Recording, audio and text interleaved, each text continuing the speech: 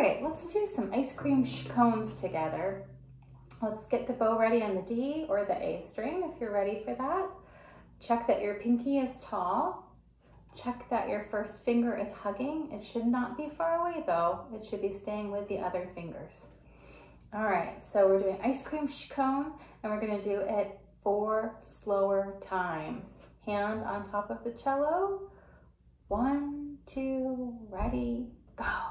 Ice cream, shh, cone, ice cream, shh, cone, ice cream, shh, cone, ice cream, shh, cone. Good, all right, let's try four a bit faster now. Is your pinky still tall? Is your first finger still curved? Okay, one, two, faster, go. Ice cream, shh, cone, Good, now let's try eight in a row. Can you do it? Let's see. One, two, eight, go.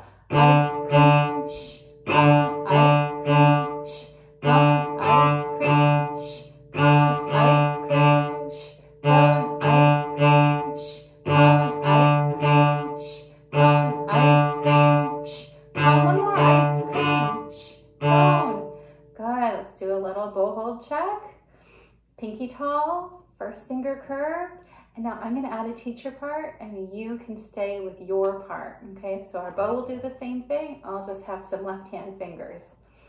All right, eight, one, two, ready, go. Ice cream, shh, cone, ice cream, shh, cone, ice cream, shh, cone, ice cream,